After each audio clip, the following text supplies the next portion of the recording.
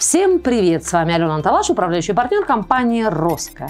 В фильме «Тот самый Мюнхгаузен» главный герой очень четко выражает свою позицию о браке. Уважаемые судьи, дамы и господа, есть пары, созданные для любви, мы же были созданы для развода. Как иностранцу получить РВП по браку, то есть в упрощенном порядке, узнаете в нашем новом видео.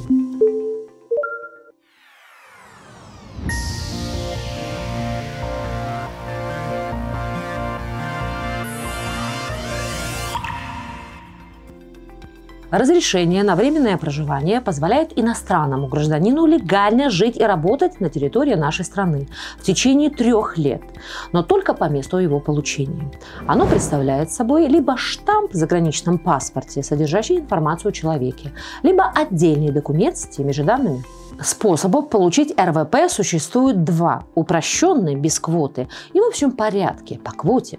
Квота определяется государством в начале каждого календарного года и имеет тенденцию к снижению. Поэтому проще и удобнее претендовать на получение разрешения по упрощенной схеме и в первые дни после новогодних праздников. Подробнее об этом расскажет юрист компании «Рос» Татьяна Кременюк. Оформить документ могут различные группы иностранцев, в том числе военнослужащие, контрактники, переселенцы по специальной программе и, конечно, лица, заключившие брак с гражданами РФ. Подробнее о способах получения РВП и условиях оформления данной бумаги можно узнать в Федеральном законе 115 о правовом положении иностранных граждан в Российской Федерации от 25 июля 2002 года. Разрешение на временное проживание дает право на бесплатное медицинское обслуживание по полису ОМС, там, где зарегистрирован иностранец. Также с РВП можно оформить ИП или открыть ООО. Поделитесь в комментариях вашим опытом получения РВП, а мы в этом видео расскажем, как происходит оформление такого документа по браку и разберемся с нюансами данной процедуры. Как получить РВП по браку? Говоря обо всех актуальных в этом году способах оформления разрешения на временное проживание, стоит отметить, что вступление в брак с гражданами России – один из самых верных и быстрых. Многие девушки меняют свою фамилию после выхода замуж. А знаете ли вы, в какой стране они меняли не только фамилию, но и имя? Об этом расскажет специалист по связям с общественностью компании «Росская» Ксения Снова. Исторически сложилось, что выходя замуж, женщины в Венгрии принимали полное имя и фамилию мужа, добавляя лишь окончание «не». Становясь женой Барталана Гала, девушка становилась Гал Берталанни. Конечно, сейчас у венгерских дам есть выбор, и традиции потихоньку отходят на второй план. Продолжим. Оформление РВП по браку в России – это первый этап на пути к получению российского гражданства. Кроме того, заключение брачного союза позволяет стать гражданином в меньшие сроки, чем при получении разрешения по квоте.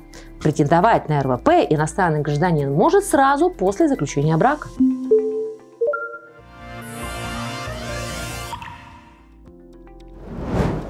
Как подать документы на РВП по браку? Многие гости нашей страны задаются вопросом, что нужно для РВП по браку. Первое – это, конечно, собрать соответствующий пакет документов. Чтобы подавать на РВП основным документом для иностранного гражданина, что логично, будет свидетельство о заключении брака. Оно может быть выдано в России или за пределами нашей страны.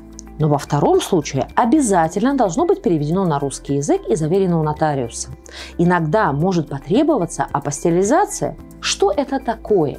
Об этом расскажет юрист компании «Роско» Ольга Шумикова.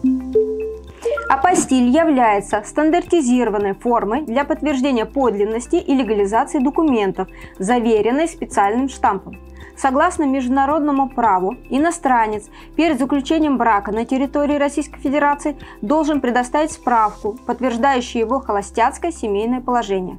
Остальной пакет документов идентичен обычной процедуре и должен включать два заполненных заявления, две фотографии формата 3 на 4, свидетельство о знании основ русского языка и законодательства нашей страны, заключение о прохождении медосмотра, документ удостоверения личности, документ о наличии или отсутствии судимости, миграционную карту и документ о миграционном учете. И помимо этого, чтобы подать на РВП по браку, лицу понадобится уплатить пошлину и взять с собой квитанцию, подтверждающую этот факт. Кроме апостиля, есть второй вариант легализации иностранных документов. Он называется консульская легализация. Подробнее об этом расскажет Ольга Шумикова. Консульская легализация – это многоступенчатая процедура, включающая удостоверение у нотариуса и удостоверение подписи переводчика – последующее удостоверение подписи нотариуса в Министерстве иностранных дел и на последнем этапе удостоверение документов в консульстве принимающего государства. В разных странах детали этой процедуры могут отличаться, но в целом она проходит так. Чтобы встать в очередь на получение РВП по браку, нужно подать собранный пакет документов в отдел МВД, занимающийся курированием вопросов миграции. Прием осуществляется только по предварительной записи. Процесс оформления РВП отнимает время и силы. Приходится собирать документы и ходить по разным инстанциям.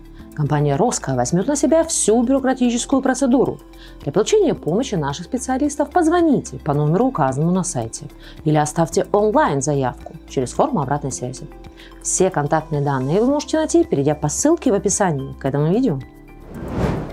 Сколько ждать РВП по браку? РВП по браку оформляется в те же сроки, что и разрешение в рамках квоты. Обычно документы рассматриваются миграционной службой МВД в период от двух месяцев до полугода, причем отдел должен быть территориальным по месту прописки супруга. И часто важную роль в последнем случае играет гражданство того, кто желает получить документ. Лица, въехавшие в Россию по визе, могут прождать разрешение дольше всего. Для жителей СНГ этот период обычно составляет от полутора до трех месяцев. Требование о местоположении отдела МВД появилось в 2018 году, чтобы гарантировать серьезность намерений обеих сторон.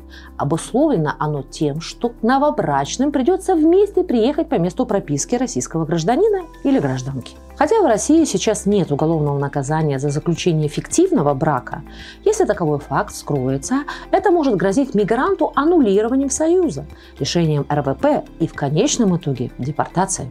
Рада, что вы досмотрели это видео до конца. С вами была Алена Талаш. Если у вас остались вопросы после просмотра этого видео, смело пишите в комментариях к нему. Юристы компании «Роско» с удовольствием на них ответят. И, конечно, подписывайтесь на наш канал, где вы найдете массу полезной информации не только для бизнеса, но и для себя лично.